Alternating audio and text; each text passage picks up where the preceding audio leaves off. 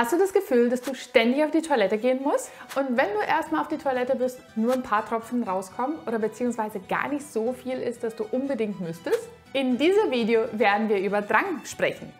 Ich erzähle dir ein paar Tricks, die du machen kannst, um deine Drangbeschwerden sofort loszuwerden und welche Nahrungsmittel deine Drangbeschwerden auslösen können. Mein Name ist Wissner, ich bin Physiotherapeutin und Beckenbodenspezialistin.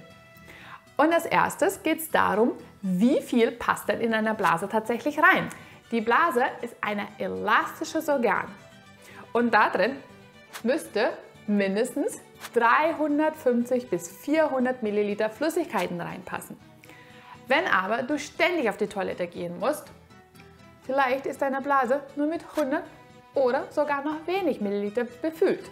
Und dieses Gefühl bzw. dieses Drang auf Toilette zu gehen, manchmal können manche Patienten sogar es gar nicht halten. Drang wird ausgelöst, weil die Wände von der Blase ganz viele Nervenrezeptoren haben. Und wenn diese Nerven stimuliert werden, weil die Wand genug gedehnt ist, dann hast du das Gefühl, dass du auf die Toilette gehen musst. Bei manchen Patienten ist es aber so, dass diese Rezeptoren zu empfindlich sind.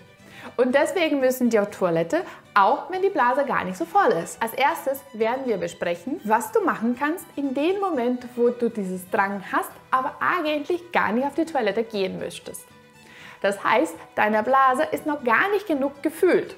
Und an sich ist noch viel Platz da, dass du eigentlich nicht die ganze Zeit auf die Toilette gehen müsstest. Es gibt einen Reflex zwischen die Nerven oder beziehungsweise zwischen die Muskulatur von der Blase und deinem Beckenboden. Wenn du deine Beckenbodenmuskulatur anspannst, ganz stark anspannst, wird es dafür sorgen, dass die Rezeptoren, die in der Blase sind, erstmal wieder still werden. Das heißt, wenn du eine kräftige Anspannung machst, von dem Beckenboden ein paar Mal hintereinander wird es hochwahrscheinlich dafür sorgen, dass du erstmal dieses Dranggefühl ein bisschen weiter nach hinten schieben kannst. Das zweite, was du machen kannst, ist, du setzt dich hin, am liebsten ein bisschen auf die vordere Kante vom Stuhl, so aufrecht wie möglich, und dann krallst du deine Zehe ganz doll zusammen. Wichtig dabei ist es, dass du das Gefühl hast, dass du deine Zehe ganz eng machen kannst. Du kannst es auch in den Schuhen machen, wenn du da genug Platz hast. Das dritte, was du machen solltest, wenn du Drangbeschwerden hast, ist, dass du deinen Oberkörper vorwärts beugst. Dadurch veränderst du die Druckverhältnisse innerhalb von deinem Bauchraum und das kann dafür sorgen, dass der Detrusor, die Muskulatur von der Blase, sich dadurch entspannt. Diesen Tipp eignet sich besonders, wenn du unterwegs bist und Drangbeschwerden hast und nicht weißt, wie du genau jetzt noch nach Hause kommst. Das heißt, du beugst dich vorwärts und tust so, als ob du deine Schnursenkel jetzt anbinden würdest. Durch diese Haltung mit angebeugter Knie und dein Becken vor, vorwärts gebeugt, sorgst du dafür, dass du erstmal diesen Drangbeschwerden unterbinden kannst.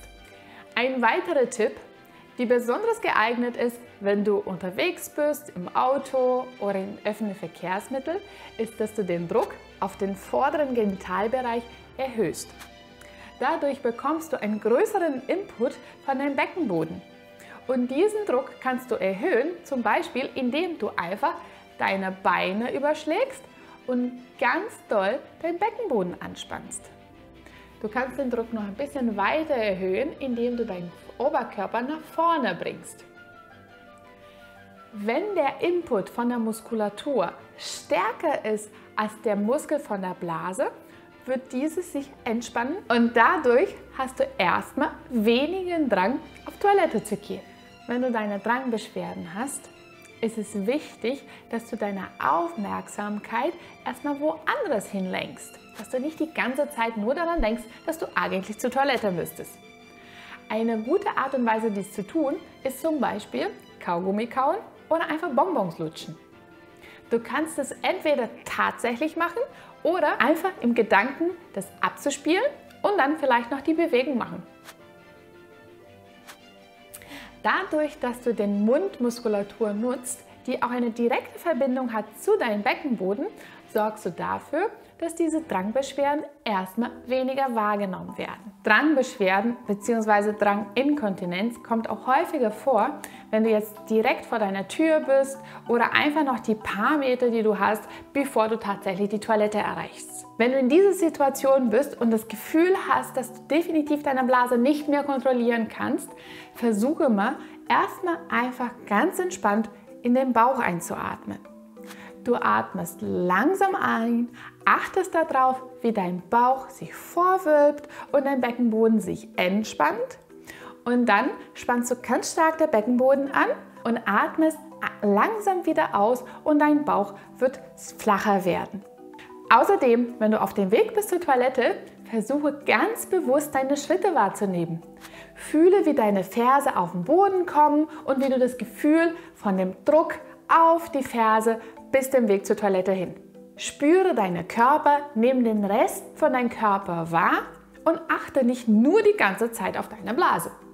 Wenn dir dieses Video bis jetzt gefallen hat, freue ich mich, wenn du mir einen Daumen nach oben lässt. Und jetzt sprechen wir über die Lebensmittel, die vielleicht deine Blase reizen können, beziehungsweise deine Drangsymptomatik noch schlimmer machen. Das erste ist zu viel oder zu wenig trinken. Wenn du zu viele Flüssigkeiten zu dir nimmst, ist es nicht verwunderlich, dass du die ganze Zeit auf die Toilette musst.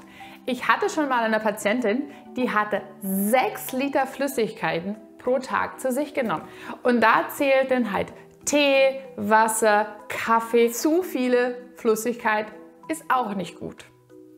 Genauso wie zu wenig Flüssigkeit auch nicht gut ist. Wenn du zu wenig Flüssigkeit zu dir nimmst, sorgt es dafür, dass deine Urin sich zu doll konzentriert und das reizt wieder diese Rezeptoren von der Blase. Manche Lebensmittel sind besonders reizvoll für diesen Rezeptoren wie selbstverständlich alles, was säuerlich ist. Lebensmittel wie zum Beispiel Essig, Orangensaft, Zitronensaft, Zitronenwasser oder Tomaten.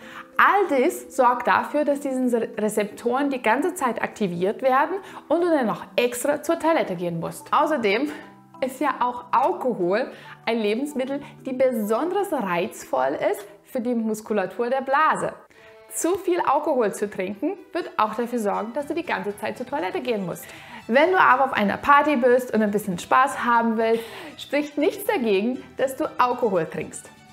Dann solltest du diese erstmal verdünnen und wenn du den Auswahl hast zwischen einem Weißwein und einem Rotwein, tendiere eher zu den Weißwein.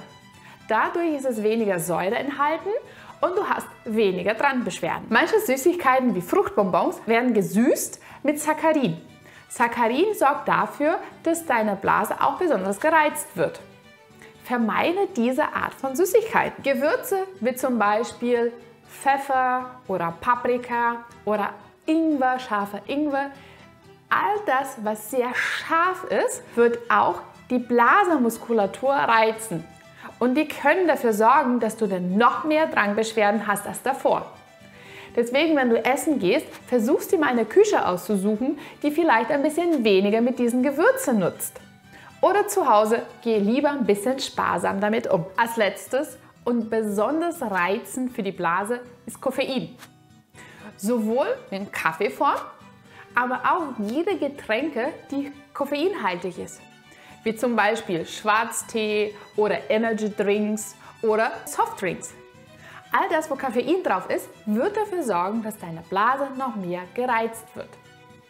Deswegen versuche diese Getränke zu vermeiden oder so weit wie möglich für dich zu reduzieren. Und nicht zuletzt, manche Medikamente, die für Kopfschmerzen eingesetzt werden, haben einen hohen Anteil an Koffein. Wenn du unter beides leidest, sowohl Kopfschmerzen als auch Drangbeschwerden, guck mal nach deinen Medikamenten nach, ob diese sehr koffeinhaltig sind. Und wenn es so ist, dann bespreche das mit deinem Arzt und suche zur Alternative, damit eine das andere nicht noch schlechter macht. Hattest du schon von irgendeiner von diesen Tipps gehört? Schreib mir unten in den Kommentaren. Wenn dir dieses Video gefallen hat, freue ich mich, wenn du meinen Kanal abonnierst und wir sehen uns beim nächsten Video. Tschüss!